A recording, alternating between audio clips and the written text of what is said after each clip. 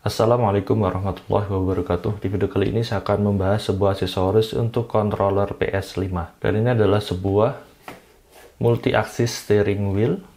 Jadi seperti ini, mereknya adalah KJH.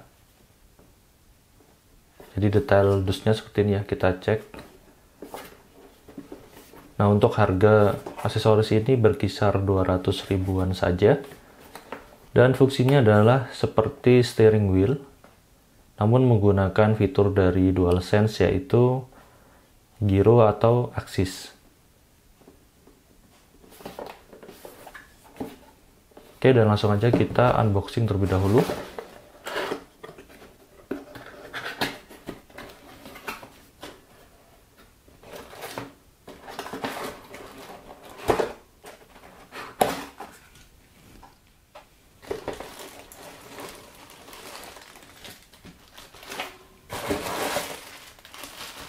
Udah kosong untuk dalam dusnya jadi di sini cuma terdapat dua bagian saja dan kita tidak mendapatkan sama sekali untuk manual book ya atau petunjuk penggunaan. Kita langsung aja buka.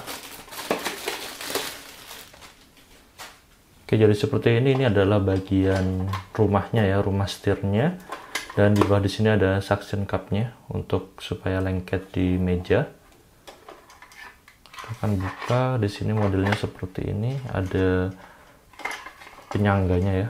Ini bisa kita lipat dan kunci seperti ini. Lalu untuk di bagian kedua ini adalah bentuk setirnya. Jadi seperti ini. Untuk bahan plastiknya sih terasa biasa saja ya. Oke dan langsung aja kita coba setup kita masukkan terlebih dahulu untuk dual sense nya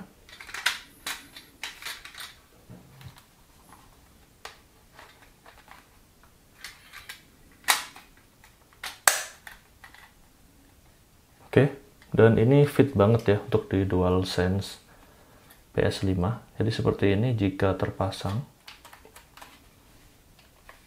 Wow untuk bentuknya juga mengikuti ukuran dari DualSense PS5 ini. Lalu kita coba attack. Pada bagian bawah setir di sini terdapat tuas ya untuk kancingan setirnya. Namun di sini terlihat tidak fit. Jadi ini mudah sekali lepas walaupun sudah ada kancingannya. Untuk build quality dari aksesoris ini saya rasa kurang sekali ya.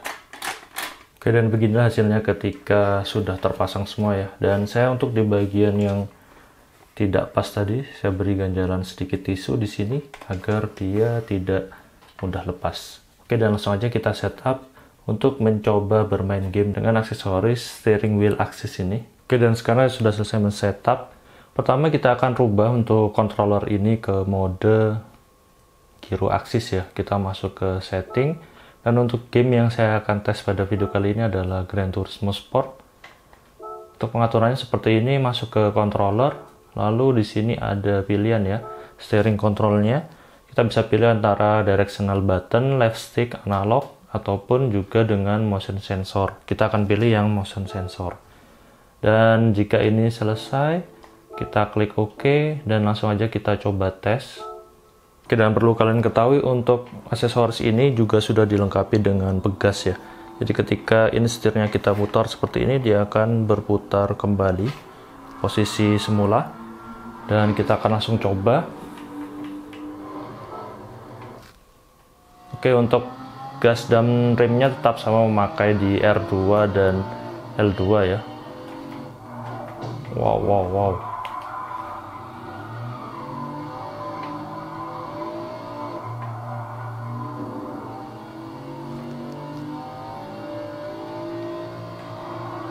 Oke untuk responnya terasa baik ya karena memang untuk giro dari DualSense ini juga sangatlah presisi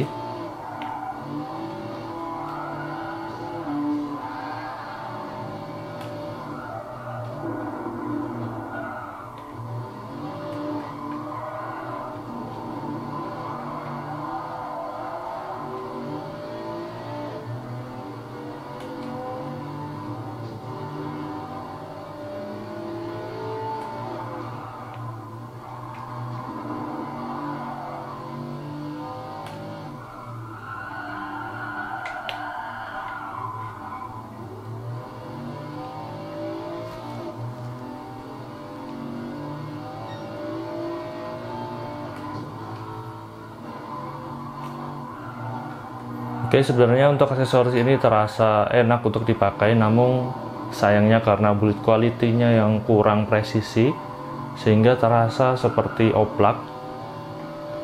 Namun dengan harga segini saya rasa masih lumayan lah ya, masih bisa ditoleransi. Oke, jadi terasa seperti memakai steering wheel ya versi low budget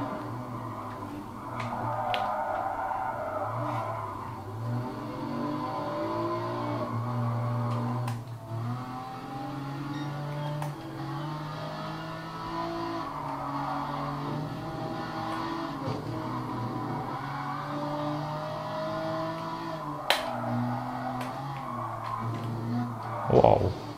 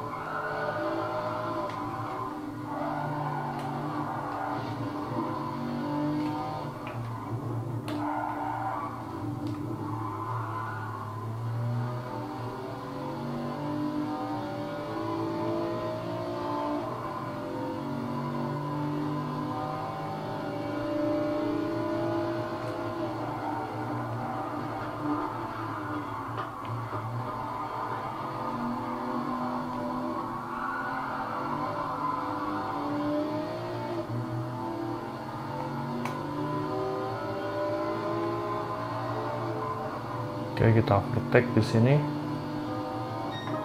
Dan finish. Oke, dan gitu aja untuk video kali ini membahas tentang aksi steering wheel yang seharga 200 ribuan. Dan untuk kesimpulannya, untuk alat ini sebenarnya terasa lebih memaksimalkan fitur dari Giro DualSense PS5 ini. Namun sayangnya untuk alat ini, untuk build quality-nya terasa sangat kurang baik ya. Yang pertama dari segi plastik yang terasa biasa saja, dan juga untuk presisinya, ini sangat kurang sekali seperti dari section cup yang kurang kuat. Lalu yang kedua dari attack dari steering ke rumah steeringnya ini juga kurang baik ya untuk kancingannya. Jadi selain dari build quality, saya rasa sih untuk fungsi dari steering wheel ini enak sekali untuk dipakai, terutama untuk memaksimalkan fitur dari Giro Axis DualSense PS5 ini. Dan akhirnya saya rasa untuk alat ini worth it dan gak worth it untuk kalian beli. Kenapa? Karena untuk memakai alat ini secara baik ya, ataupun dengan normal, kita harus melakukan sedikit trik seperti mengganjal mount dari setir dan juga rumah setir terlebih dahulu dan juga untuk merekatkan seperti dengan isolasi atau plaster untuk section cutnya ke bagian meja supaya tidak jatuh-jatuh. Dan gitu aja untuk video kali ini. Semoga informasi ini bermanfaat. Jangan lupa like dan subscribe channel ini. Beri kritik dan saran membangun di kolom komentar. Terima kasih telah menonton. Wassalamualaikum warahmatullahi wabarakatuh.